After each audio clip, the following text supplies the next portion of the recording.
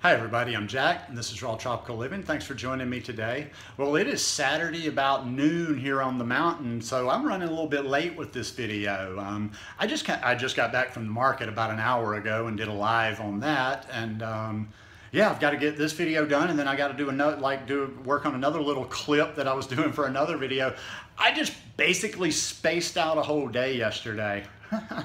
that's a little embarrassing to say, but uh, I was actually doing something. I was um, I, when I get on a train of thought, I can get lost sometime. Um, one of my side projects for this summer is um, I'm watching tons of videos on going to yard sales and going to thrift stores and selling through an eBay account. So been, i just kind of got lost in videos, and at the end of the day, I kind of giggled. I was like, I don't know where the day went, but I didn't do a video. I didn't do anything. Luckily, I was already ahead and I had yesterday's video made. Anyhow, today is about right thought, compassion, and mindfulness. As you know, um, I've been talking a little bit of, I kind of had a little weekend series going on mindfulness. Um, now, if you're not already subscribed to the channel, I do videos every day. Um, normally on the raw food lifestyle, plant-based lifestyle, a little bit of fitness, a little bit of meditation like this on Saturdays. So if I'd appreciate if you'd hit that subscribe button and click on the little bell and check send notifications so you will stay subscribed to the channel. Um, I, am actually going to read a little bit from a book today, and I'll uh, talk about the little reading as I go. But I was reading about this. I was reading this um, this past week, and it just kind of jumped out at me because the title. Those are those are things that I work on. Those are things that I work on personally is the um, right thought and the compassion. I'm working on the compassion thing. I kind of feel bad because I catch myself being a little bit conditional with my compassionate time, almost like, and that's not for me to judge, almost saying like, yeah, I don't have time for this person. I'm not great with whiners. I'm not great. I, I'm, I'm the kind of person like I'll always reach down to help you, but there's just certain people, you know, that they just get on your no nerves and it's hard to have compassion for them. So that's always going to be a project and that's something that I work on and right thought, of course, you know, every day. This mindfulness is, um, you know, it's just really, really kicking. This practice is just like taking me places. Um, I was thinking last night just about, you know, I have random flashbacks now, and I had a hard one this week. It was I wanted to say a slap in the face, but it's not like that sensation. It's almost just like a wave of something. I had a flashback going back to the old days. And I just thought, I mean, that's why I'm so happy, man. Seven years ago, I just flashed back to a time seven years ago. I'm in a miserable living situation in a small dwelling, no space to myself. And just to cope, I was outside smoking. I would light one butt off the other. I would light, I would just smoke one Marlboro after another and just pace around going, God, I can't get out of this. I was miserable miserable. I was depressed. I was shitty to be around, I'm sure, on a daily basis. So, man, when I broke out of that stuff, that's why, I mean, I know I get a little silly sometimes, but that shit real. You know, my happiness ain't made up at all. Like I'm down, I'm damn near dancing on clouds every day because of where I've been. Because you know, it just wasn't a lot of fun. Looking back, you think it was fun back then, but it wasn't. So, anyhow, let me get into the reading this morning. This is by Joseph Goldstein, another good author um, on mindfulness. I got to see if I can get myself a refurbished um, iPad when I get to the States. Mine has just about had it. Okay, this is the actually chapter 40, and it's titled Right Thought, Compassion. Right thought includes all the intentions and aspirations that lead to wholesome actions, which result in the welfare and happiness of ourselves and others. These are thoughts of renunciation, free of sense desire, thoughts of goodwill and loving kindness, free of ill will, and lastly, thoughts of compassion, free of cruelty.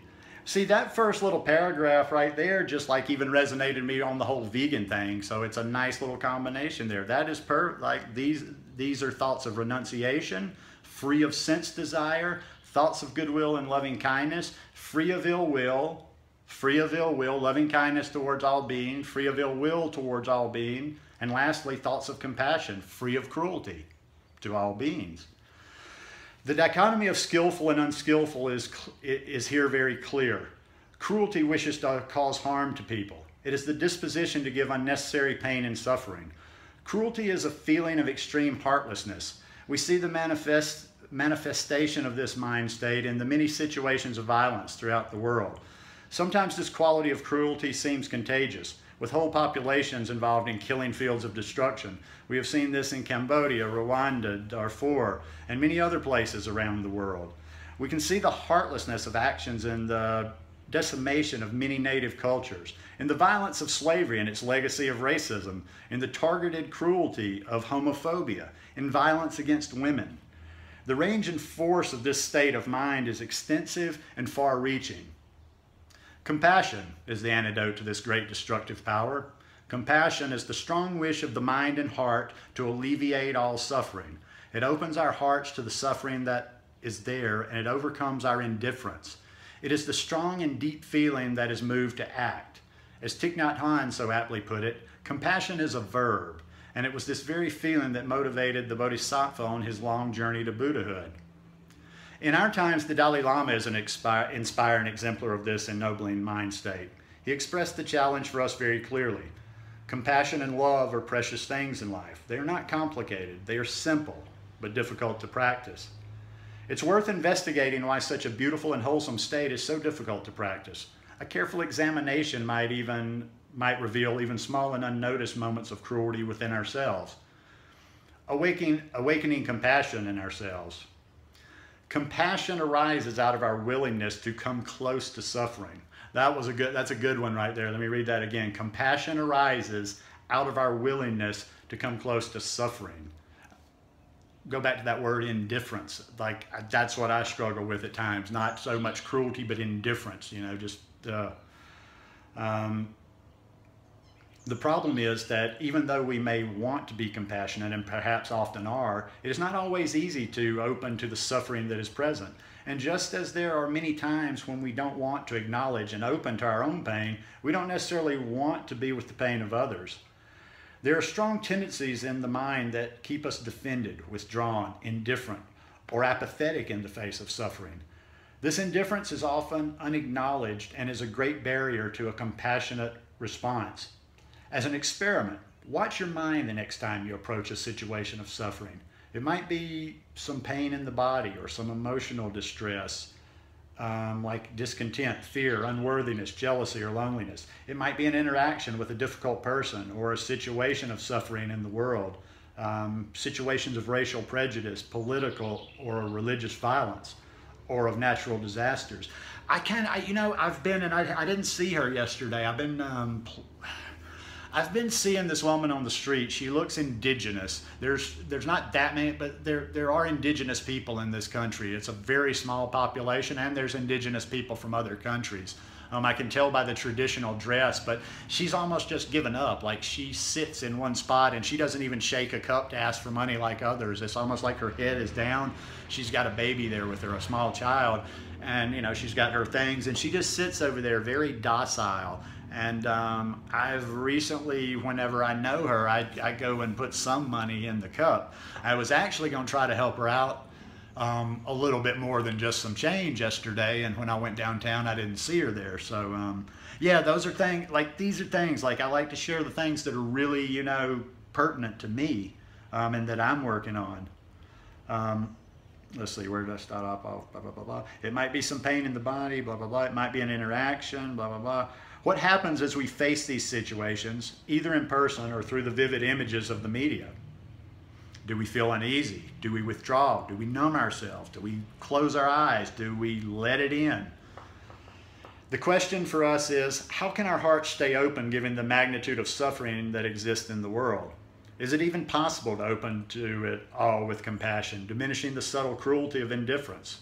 The challenge is not a theoretical one. It is not enough to admire from afar the qualities of kindness and compassion as being noble ideas, but, but somewhat removed from our daily lives. It's not enough to cultivate them only in the solitude of a meditation retreat. Our practice is about the transformation of consciousness that makes compassionate responsiveness the default setting of our lives. Compassion requires both openness and equanimity. It requires learning to let things in without drowning in the difficulties and, with, and without being overcome by sorrow. It means learning to simply be with the truth of things as they are. This is the great gift of mindfulness that opens us to compassion. Being with the truth of what is present is what we do every time we open to our own pain or difficulty. As we practice opening to and coming close to the suffering in our own lives with compassion, we then have greater strength and courage to be with the suffering of others. I'm going to read just a little bit more to you. Empathy is the beginning of compassion. Empathy happens when we take a moment to stop and feel what is really going on with another person before we rush on with our lives.